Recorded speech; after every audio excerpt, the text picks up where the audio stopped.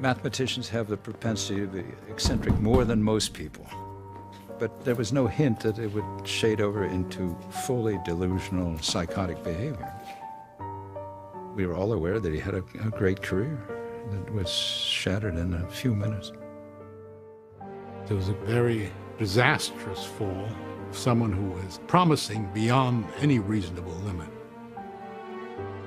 He was so incredibly himself, so special, so unusual. He was just an oddity, and there was something sweet about it. The idea that someone who had been mentally ill and impoverished and really on the fringes of society for decades was being considered for a Nobel Prize, I thought that was amazing. Madness can be an escape. Things are not so good, you maybe want to imagine something better. In madness, I thought I was the most important person of the world. And people like the Pope would be just like enemies who would try to uh, put me down somewhere.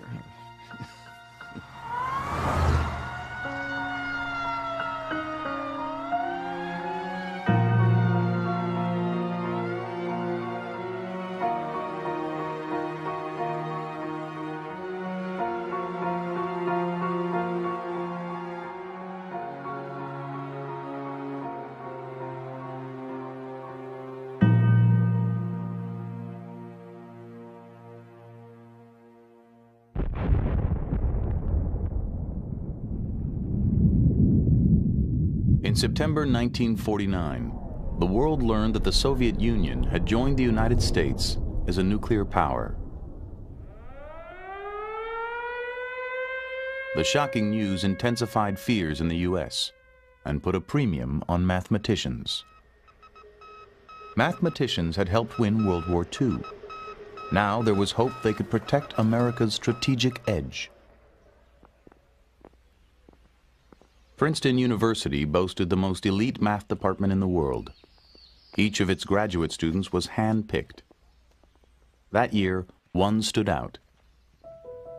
A 20-year-old from West Virginia named John Forbes Nash. These young mathematicians were all pretty cocky, but he towered over them in arrogance and confidence and also in eccentricity. John Nash was always an entity unto himself. When John walked into the room, you knew that John walked into the room. I think he thought of himself as superior, intellectually, mathematically superior. We thought highly of ourselves and each other. But with John, it was double. John just was just very clearly above it. Nash rarely attended class, claiming it would blunt his originality. He was obsessed with making a name for himself and was always on the hunt for problems that had defeated other mathematicians. There is something of that in my approach to mathematics. I, I have uh, tended to think that the thing to do is to get away from what other people are doing and not not to follow directly in any anyone's recent work. He didn't study anything. He didn't assimilate other people's work. What he did was to try to find his own way of solving very difficult problems. And he thought he had the talent to fulfill these ambitions of being the world's greatest mathematician. Nash soon acquired a reputation for being both brilliant and odd. In the quadrangle, he rode a bicycle in figure eights, over and over, and paced the hallways obsessively whistling Bach's Little Fugue.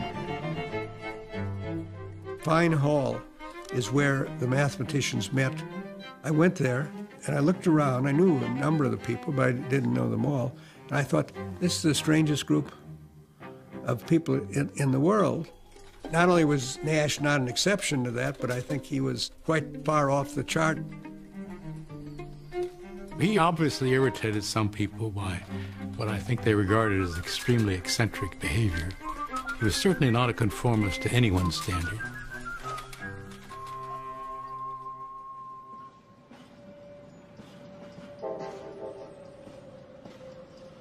Even as a boy growing up in Bluefield, West Virginia, deep in the Appalachian Mountains, John Nash stood out. I was in grade school and I would be doing arithmetic. I found myself working with larger numbers than other students would be using. That they, I would have several digits and they would have maybe two or three digits. One time, one of the teachers said he couldn't do the math. This is like fourth grade. And my mother laughed because it was obviously the point was he was doing it differently. I think my parents always knew that John was bright. His father, John Sr., was an electrical engineer. His mother, Virginia, a former teacher, tutored John at home and had him skip a grade in school. One time someone suggested that I was a prodigy. Another time it was suggested that I should be called Bug Brains because I had ideas that were sort of buggy or not perfectly sound. He took his share of abuse from certain groups, the brain working a little bit faster than anybody else's, so everybody else felt like they had to ridicule it a little bit. His senior year in high school, John won a Westinghouse Scholarship, one of only 10 awarded nationally. Three years later, he graduated from Carnegie Institute of Technology with a master's degree in math. His advisor wrote him a one-sentence recommendation. This man is a genius.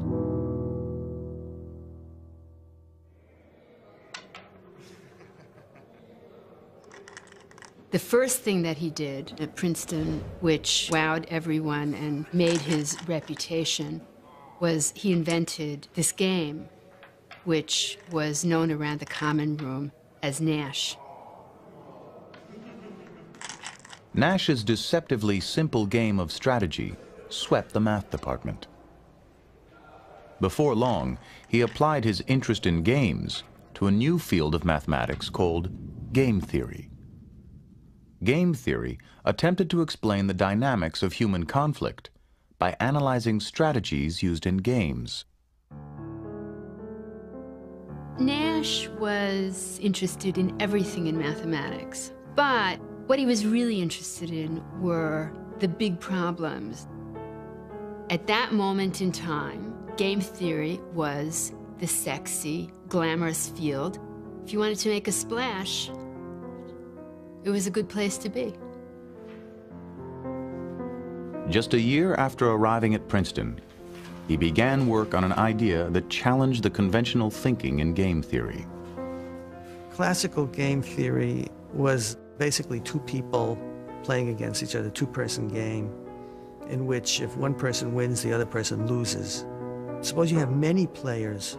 Game theory got into a phase that people couldn't really deal with it. They didn't know how to state the problem. If we could make a theoretical model that would answer questions of why do you bluff in poker? Why would you bet when you have a low hand? Why would you fail to bet if you have a high hand? If we could analyze things like that, then we could handle real life problems in economics, in business, in politics. He had that vision. Nash's insight was another deceptively simple one. He proved that in every game there is a best strategy for each player, given the strategies chosen by the other players. He called it the equilibrium point. In the spring of 1950, Nash presented his elegant proof. He was only 21. Years later, what became known as the Nash equilibrium would revolutionize economics. But when it was first completed, nobody recognized its potential, not even Nash.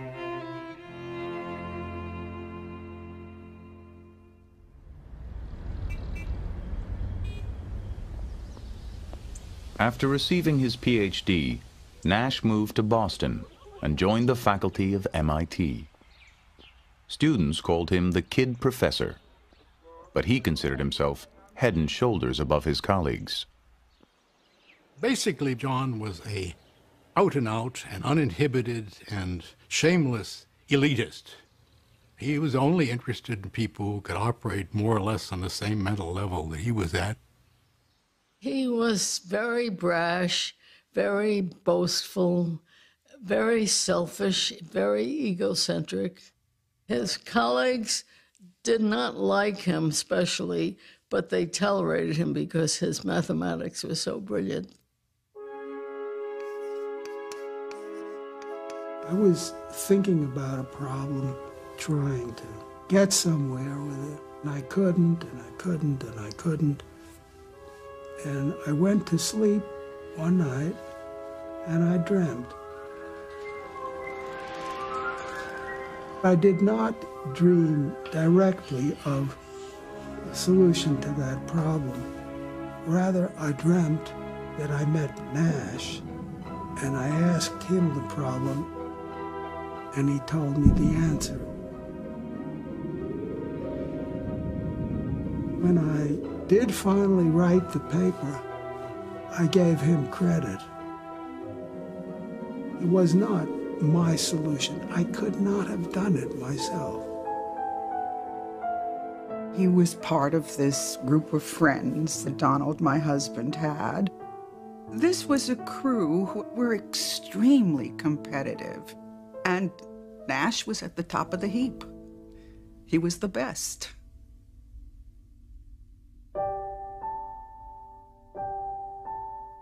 The following year, Nash began his first serious relationship.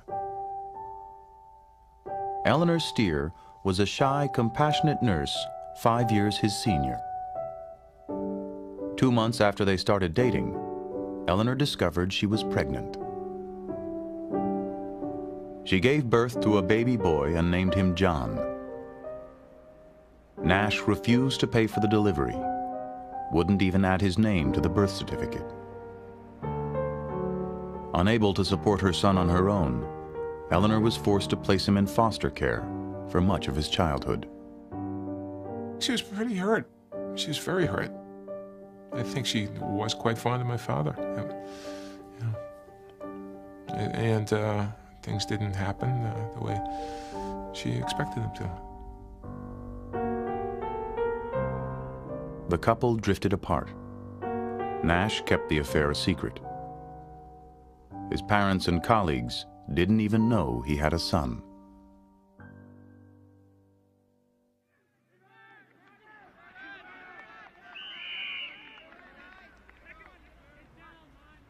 Not long after breaking up with Eleanor, Nash met Alicia Larde, a 21-year-old from El Salvador and one of his students. A physics major, she was one of only 16 women in a class of 800 at MIT. She was an extremely attractive girl and not American. And I somehow think that that was significant, that she was not your ordinary college girl, that she had also come from a very different place. At the time, he was a little bit like the fair haired boy of the math department. He was, I think, considered very young for his position, and he was very nice looking, you know. When she was younger, she wanted to be another Madame Curie. John's ambition was one of the things that attracted Alicia to him. She had that desire and she transferred it to him.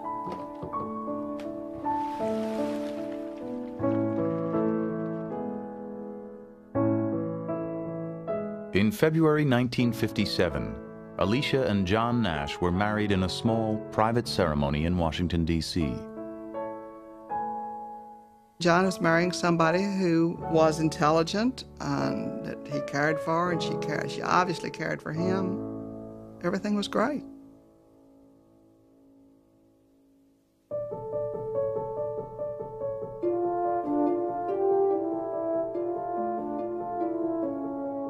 Since arriving at MIT, Nash had solved a series of imposing problems in mathematics, ranging from algebraic geometry to partial differential equations. Unlike his work in game theory, these groundbreaking proofs dazzled the mathematical world. We would all be climbing the mountain, the mountain being mathematical perfection. He had a different approach. We came up this way and he came this way. In July 1958, Fortune magazine featured him as one of the brightest stars in mathematics. He had just turned 30. For a mathematician, turning 30 is a lot like for a ballet dancer or an athlete. Age is your enemy. By his own standards, Nash had fallen short. For a decade, he had pursued the Fields Medal, mathematics' highest honor. That year, he failed to win it again.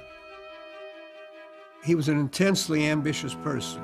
He was extremely competitive, and he was very bitter that uh, uh, he, he, he didn't get it. At the time, I'd, I had some recognition. I was making some progress professionally, but I wasn't really at the top. I didn't have top level recognition. He threw himself into solving the Riemann hypothesis, the holy grail of mathematics.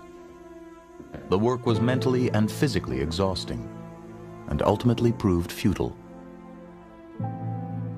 He began to worry that his best years were behind him. At the same time, he learned that Alicia was pregnant. A psychotic break is usually precipitated by some stressful experiences. Often these stressful experiences involve a demand that the person who, who becomes psychotic take on greater responsibility Below his brash and confident surface, John Nash now hid another side of himself. One filled with anxiety, self-doubt, even fear. It would mark the beginning of a strange and tragic metamorphosis.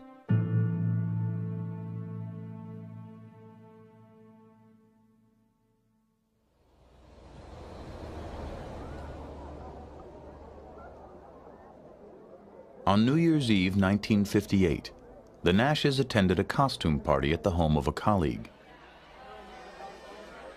John went dressed as a baby. He wore a diaper and spent much of the night curled up in Alicia's lap. Even to those used to his eccentricities, it was a disturbing scene. A few weeks later, Nash rushed into the common room at MIT and claimed that powers from outer space were sending him coded messages in the New York Times.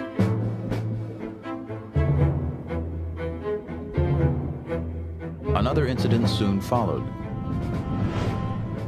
He interrupted a lecture to announce that he was on the cover of Life magazine, disguised as Pope John XXIII. He knew this, he said, because 23 was his favorite prime number. Then he began noticing a curious pattern on the MIT campus. Men wearing red ties. He was sure they were members of a secret communist organization. When the University of Chicago offered him a prestigious position, Nash turned it down. He was already scheduled, he said, to become Emperor of Antarctica.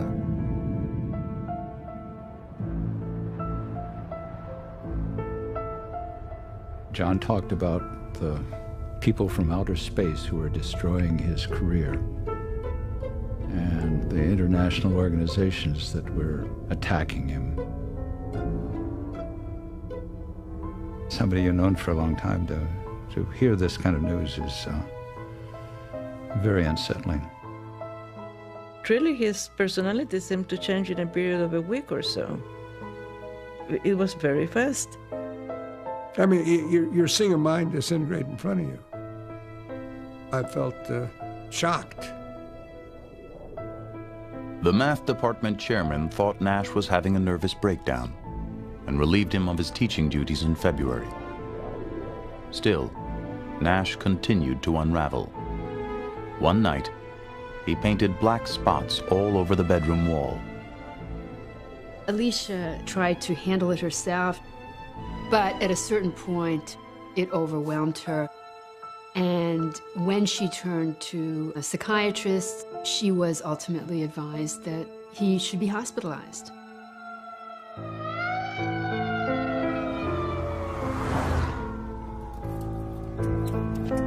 Here was this genius, and you were going to clap him into a hospital where God knows what might happen? I think it was very tough.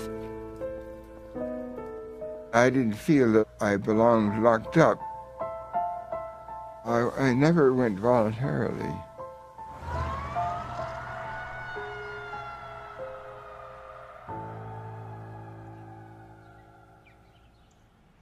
Nash was taken to McLean Hospital, a private psychiatric facility outside Boston known for treating the wealthy and famous. He was diagnosed with paranoid schizophrenia and given an injection of Thorazine to calm him down. His treatment consisted of psychoanalysis. The staff called him Professor. In those days, many doctors thought schizophrenia was related to problems in childhood, problems in mothering. They didn't know it was a real brain disease, and that people are born with a vulnerability to that brain disorder. Conventionally, we define it as a severe mental illness characterized by hallucinations, delusions, or peculiar forms of thinking. For example, a schizophrenic may feel that when he looks at you, he may believe that it's not himself who's looking at his own eyes. Some, somehow, someone else is actually having his experiences.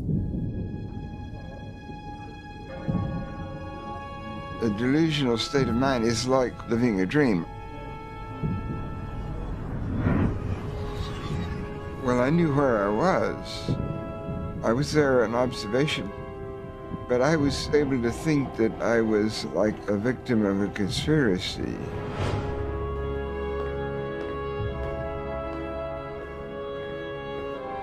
The delusions have often a cosmic quality, a feeling of ominousness. Everything that happens around you takes on a, a tremendous significance.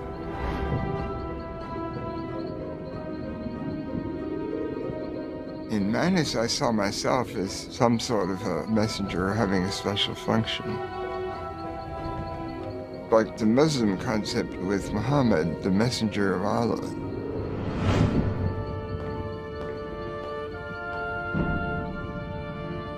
Someone who visited him in the hospital asked him, How could you, a mathematician, someone who's committed to rationality, how could you believe that aliens from outer space were communicating with you? Nash's response was, These ideas came to me the same way my mathematical ideas did, so I believe them.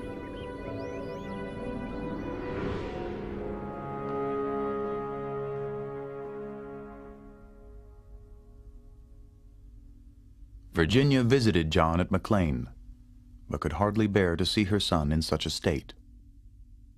It broke her, I guess. It was devastating. You can imagine that every day she would wake up and every she would go to bed and she would have this on her. Alicia urged his colleagues to visit, hoping their support would help John get back on his feet. All the mathematicians were very upset because this was a great genius that was lost. They said, Newman, they are not going to let me out until I'm normal. But that'll never be. I never was. I began to realize I would not be getting out of the hospital unless I uh, uh, conformed and behaved normally. So I in part I would do that is if I would be sweeping the delusions under a rug and they were able to come out later on. It could be triggered and I would move very quickly to accepting it again. Nash retained a lawyer who secured his release after 50 days of hospitalization. Within weeks, he resigned from MIT, withdrew all the money from his pension fund, and announced he was leaving for Europe. Alicia, who had given birth while John was in McLean, felt she had no choice but to go with him. They left behind their newborn son with Alicia's mother.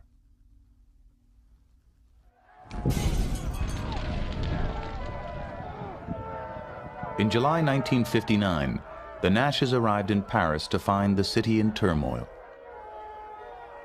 The streets reverberated with strikes, explosions, and mass demonstrations against the nuclear arms race. A week later, Nash suddenly took off on his own.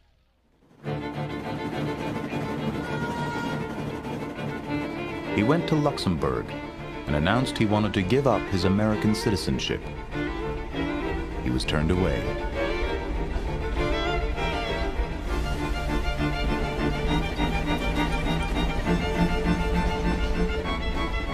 I got to Geneva and I thought of a way of being a refugee. They had a slogan, City of Refuge. I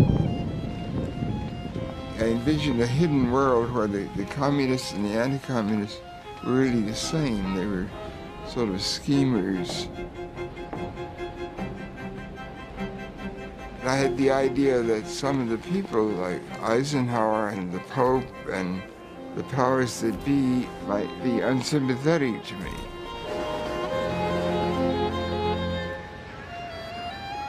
These thoughts on the surface are not rational, but there could be a situation where there were things were not what they might seem. If to be mad is to be in error, there's a kind of contradiction there, isn't there, between what it is to be mad in the eyes of the world and what it is to have these experiences in which you're having a sense of revelation and you're noticing features of the world that other people seem to be too stupid or too blind to recognize.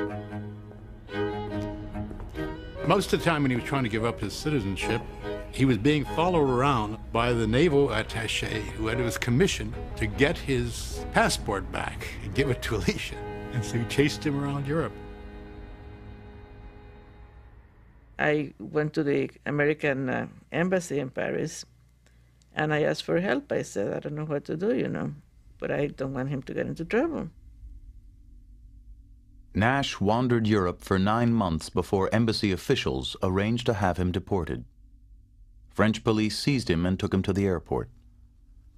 Nash later claimed that he was sent back on a ship, in chains like a slave.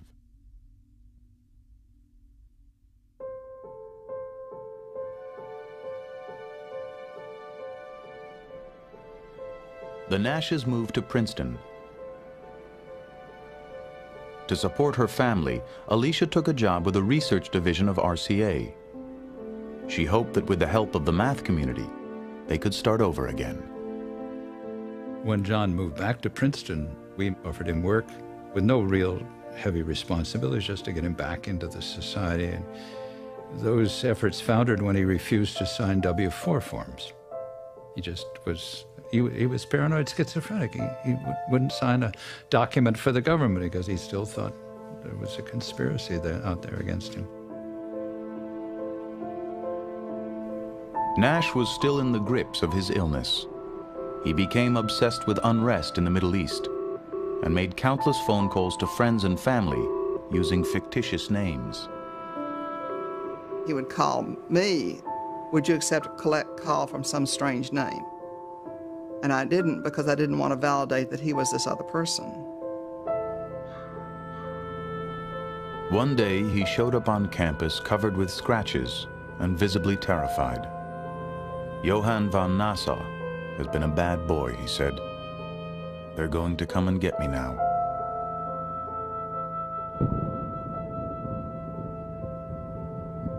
Less than two years after his release from McLean, Nash was hospitalized again.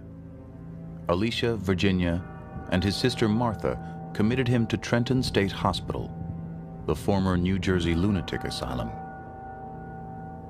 At this point, we didn't know whether this was going to be a very long, very expensive process.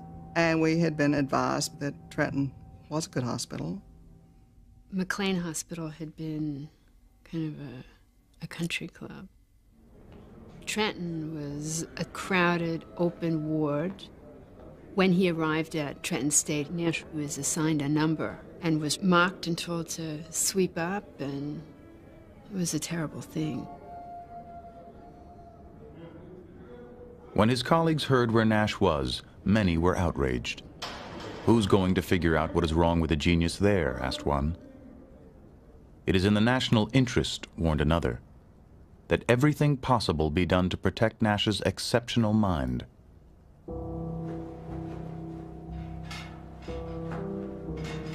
Trenton State was known for its aggressive treatments, including insulin coma therapy, which by 1961 had been phased out in all but a few hospitals.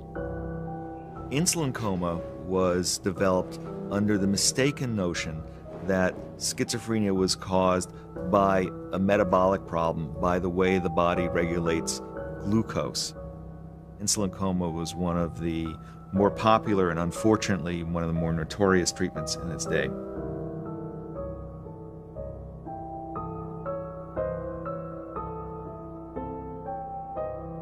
Don't remember all the details. It's the sort of thing that, uh, like if you go under anesthesia, you don't, you remember only the process up to the anesthesia.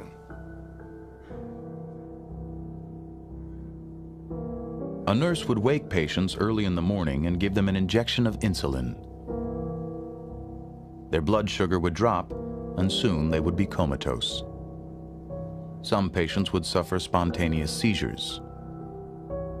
Insulin coma deliberately puts the body into total shock. This was done under supervised circumstances because if you do that too aggressively, you can die.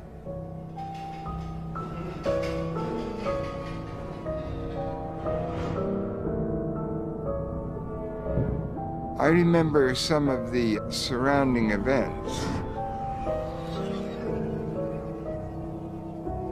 There would be a group of people that would be getting it, and then afterwards, they would go out on the grounds and pass some time and drink sugar water. I got to thinking of the cruelty to animals. I became a vegetarian at the time that I was in the uh, uh, Trenton Hospital. I was sort of thought that one could protest against this sort of treatment. Nash endured insulin treatments five days a week for six weeks. His symptoms diminished, and after six months of confinement, he was finally discharged. No one knew what the long-term effects of his treatment might be. He came to visit us, and it was after this awful treatment. And he looked like he had been battered and, and through some devastating something and, and spoke of it a little bit himself. And it was, you know, it was kind of heartbreaking. He said these treat treatments that he had gone through had wiped out his early memory. So I think what he was doing, he was visiting me and different people to see if he could get his memory back.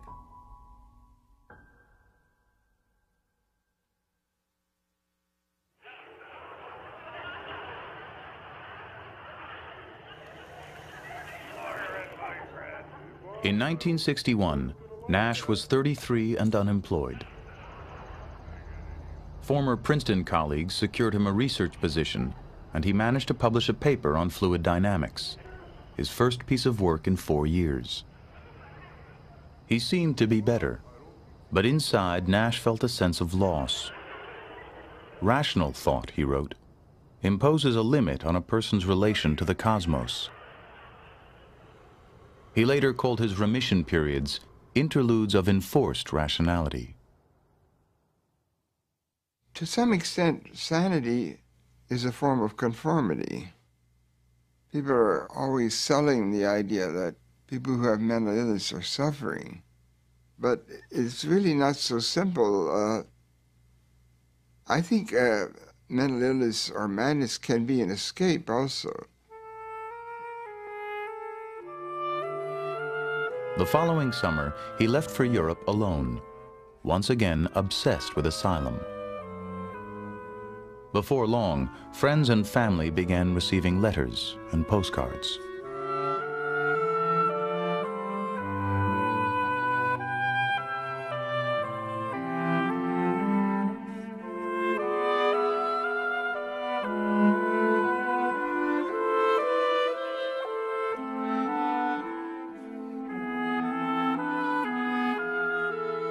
It wasn't the type of letter you would expect to receive from a father. How are you doing or what have you been up to? It was unbelievable how these things were supposed to mean something. They were frightening in a way, the letters. And they made use of all the things that had been in his life. Mathematics was a kind of numerology, and politics mixed with paranoia.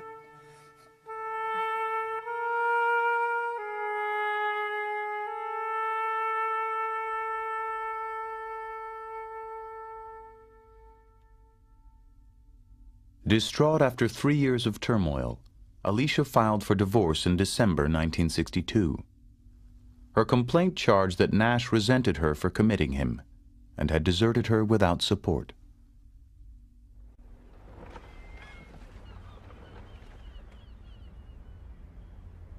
Mathematicians from MIT and Princeton found Nash an academic position in Boston. They got him an apartment and arranged for him to meet weekly with a psychiatrist who prescribed antipsychotic medication. Gradually, he seemed to improve. He was pretty sane, recalled a colleague. He was a much nicer person. The old ego stuff was gone. He began seeing Eleanor and their son John again. We had gotten into a pattern of going out every Saturday. I started to grow more fond of him as he was around more. And then he went, you know, uh, as quickly as he came. So. Less than a year after moving to Boston, Nash stopped taking his medication and his symptoms resurfaced. These medicines interfere with vitality, with drive, with thinking. So the price that many patients had to pay from being on these medicines was that they felt lifeless, like it takes away their soul. Well, he was afraid of anything that would alter the quality of his mind. And as anyone doesn't want to be forced to do something they don't want to do, or they don't choose to do. And John had always been very independent about what he chose to do. His delusions were now joined by a chorus of voices in his head.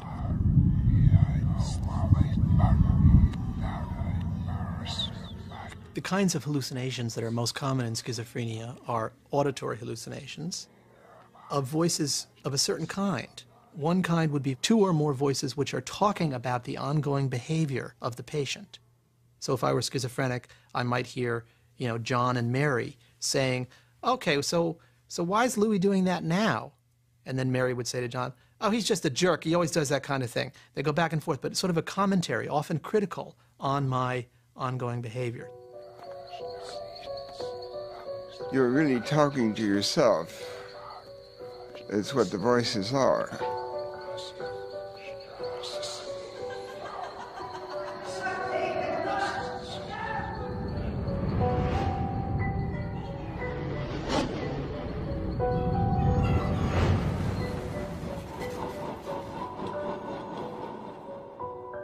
He said he understood that there was something that went on between people that was alien to him.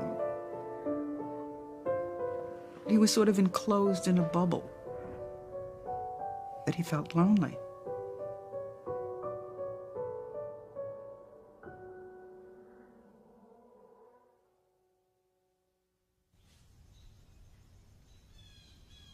In 1970, Alicia Nash had a change of heart. She felt John's repeated hospitalizations had been a mistake. Alicia decided to let him move back in with her and promised never to commit him again. I didn't think he should just be hospitalized in an institution and left there. And I just felt it was best for him to, to be on the outside. She took him back not as her husband, but as somebody who needed help and nobody else would have him.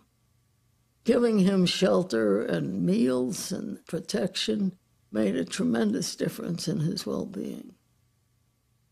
If she hadn't taken him in, he would have wound up on the streets.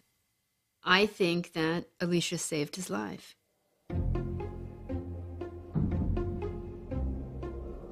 Princeton students began noticing a strange sight on campus. Entire blackboards filled with minutely written formulas and secret codes. Rumors spread it was the work of a mysterious figure who wore red sneakers and kept to himself. They called him the Phantom. There were all kinds of myths about him.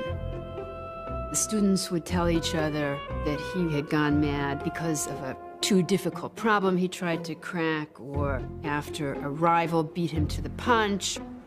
And students were aware that the powers that be were protecting him.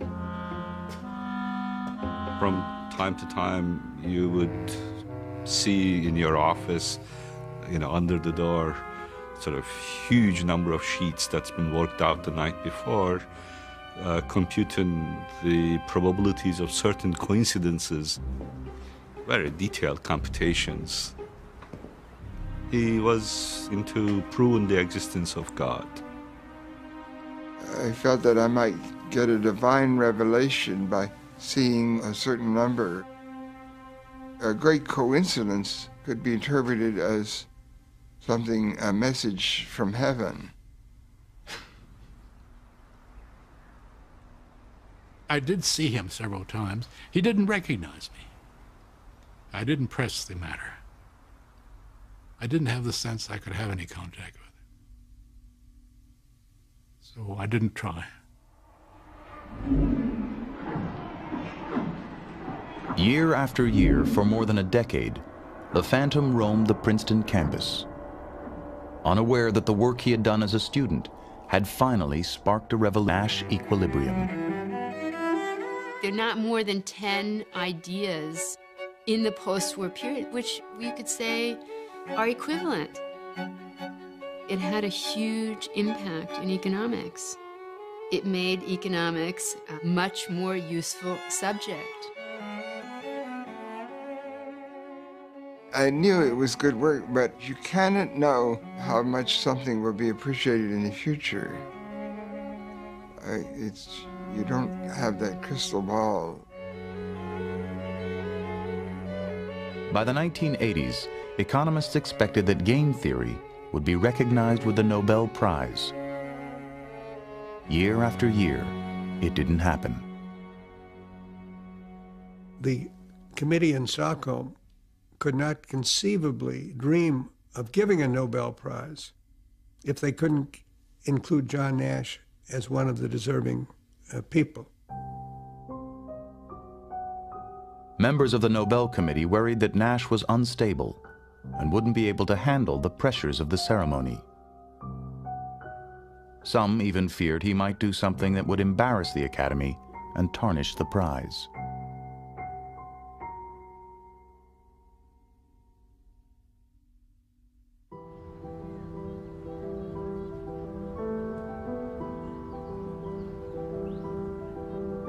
Beginning sometime in the 1980s, after three decades of struggling with mental illness, John Nash experienced his second transformation.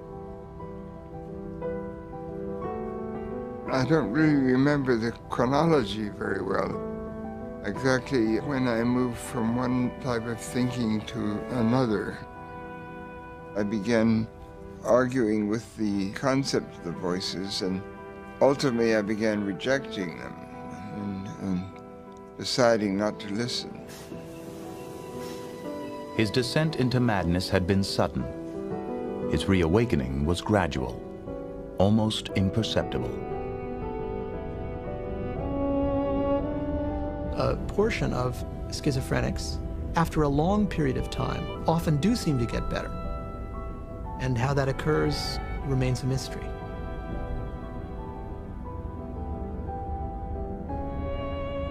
Slowly, he became more engaged and lucid. Word of his remarkable recovery spread. Those around him assumed new antipsychotic drugs were helping.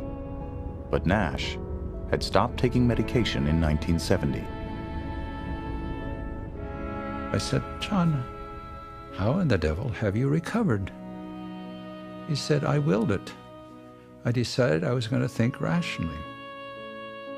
He has said that he more or less put his hallucinations aside, like a conscious decision. I mentioned that to somebody, and she said, Well, why didn't he do it sooner?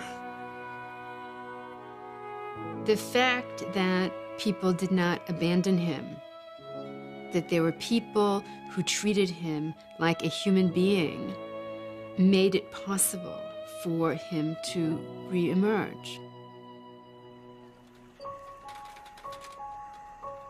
This wonderful thing that happened to John could only happen in this little mathematical community that is very, very tolerant of certain aberrations and also at the same time incredibly uh, admiring of uh, gift or genius. That was what was important about Nash in that world, not that he was ill. Two American professors and a German researcher have been awarded the Nobel Prize in Economics. The three winners of today's Nobel Prize played major roles in bringing the principles of game theory to economics. Princeton's John Nash was cited for developing what has become known as the Nash equilibrium, pioneering theory about the point at which conflicts get resolved. Under the theory, companies. My wife said, John Nash? You don't think that's the John Nash that we know? I didn't know John was still alive. I remember clearly, I heard it on the radio, and I said, That's John. And I, I cried. I, all I could think was, I wish my parents could know this. On December 10, 1994, at the age of 66, John Nash received the Nobel Prize in Stockholm. Dr. John Nash, your analysis of equilibrium and non-cooperative games and all your other contributions to game theory have had a profound effect on the way economic theory has developed in the last two decades. I was delighted. I was absolutely ecstatic. And so was my wife. We were so, it was so wonderful. Jubilant. We, we, we danced around our kitchen. I mean, it was such a marvelous vindication that after all this time, this, this incredible acknowledgement, it's great.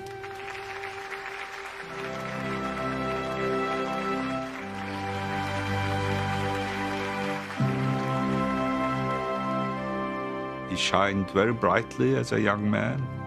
Then he had his illness and is now a very pleasant, accomplished gentleman. It feels right somehow.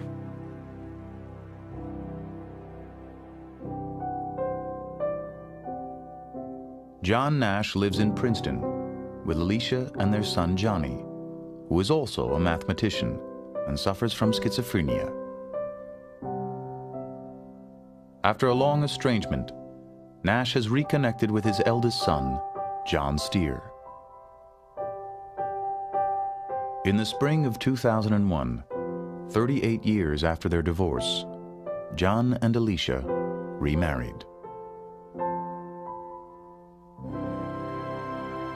At Princeton, Nash has returned once again to his work in mathematics. I think it teaches us that we have to appreciate the particular talents of people who may be very eccentric and look at things in very peculiar ways. Those are often the people who will really have the most stunning insights. Here was someone who had been lost. I think that's the inspiration that people can triumph over this disease. I think it's incredibly inspiring.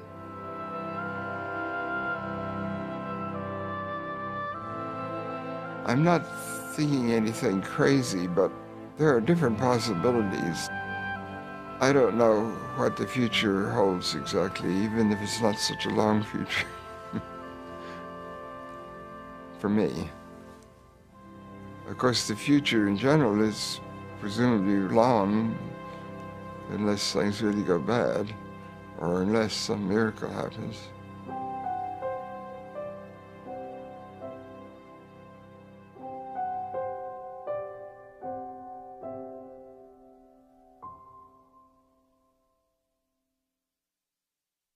There's more about John Nash at American Experience Online. Hear excerpts from an exclusive interview with John Nash and mental health questions and answers with a panel of experts. All this and more at PBS Online, pbs.org, America Online keyword PBS.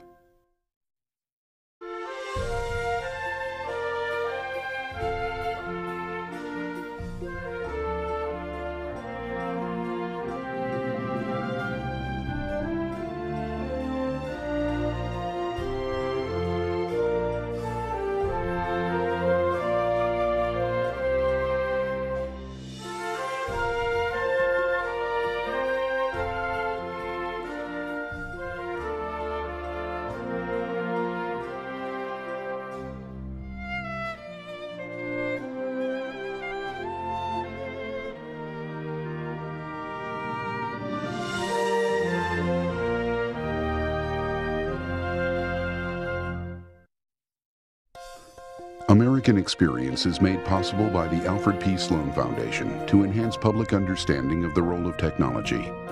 The foundation also seeks to portray the lives of the men and women engaged in scientific and technological pursuit.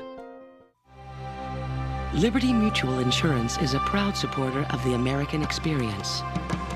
And by helping people live safer, more secure lives, we're also proud supporters of the American dream. The Scotts Company, we help make gardens more beautiful.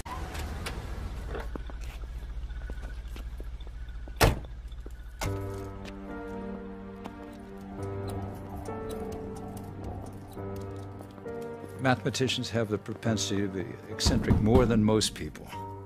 But there was no hint that it would shade over into fully delusional psychotic behavior. We were all aware that he had a, a great career that was shattered in a few minutes. There was a very disastrous fall of someone who was promising beyond any reasonable limit. He was so incredibly himself, so special, so unusual. He was just an oddity, and there was something sweet about it. The idea that someone who had been mentally ill and impoverished and really on the fringes of society for decades was being considered for a Nobel Prize, I thought that was amazing. When John walked into the room, you knew that John walked into the room. I think he thought of himself as superior, intellectually, mathematically superior. We thought highly of ourselves and each other. But with John, it was double. John just was just very clearly above it. Nash rarely attended class, claiming it would blunt his originality. He was obsessed with making a name for himself and was always on the hunt for problems that had defeated other mathematicians. There is something of that in my approach to mathematics. I, I have uh, tended to think that the thing to do is to get away from what other people are doing and not, not to follow directly in any anyone's recent work. He didn't study anything. He didn't. The world learned that the Soviet Union had joined the United States as a nuclear power. The shocking news intensified fears in the U.S. and put a premium on mathematicians. Mathematicians had helped win World War II. Now there was hope they could protect America's strategic edge. Princeton University boasted the most elite math department in the world. Each of its graduate students was hand-picked. That year, one stood out. A 20-year-old from West Virginia named John Forbes Nash. These young mathematicians were all pretty cocky, but he towered over them in arrogance and confidence and also in eccentricity. John Nash was always an entity unto himself. Madness can be an escape. If things are not so good, you maybe want to imagine something better. In madness, I thought I was the most important person of the world. And people like the Pope would be just like enemies who would try to uh, put me down somewhere.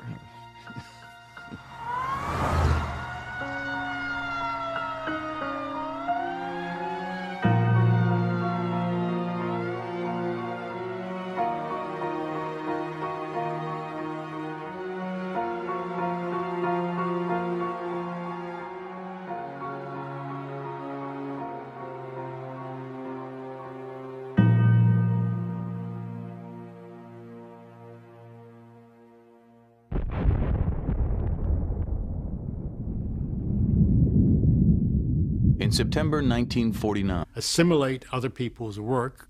What he did was to try to find his own way of solving very difficult problems. And he thought he had the talent to fulfill these ambitions of being the world's greatest mathematician. Nash soon acquired a reputation for being both brilliant and odd. In the quadrangle, he rode a bicycle in figure eights, over and over, and paced the hallways obsessively whistling Bach's Little Fugue. Fine Hall is where the mathematicians met. I went there and I looked around. I knew a number of the people, but I didn't know them all. And I thought, this is the strangest group of people in, in the world. Not only was Nash not an exception to that, but I think he was quite far off the chart. He obviously irritated some people by what I think they regarded as extremely eccentric behavior. He was certainly not a conformist to anyone's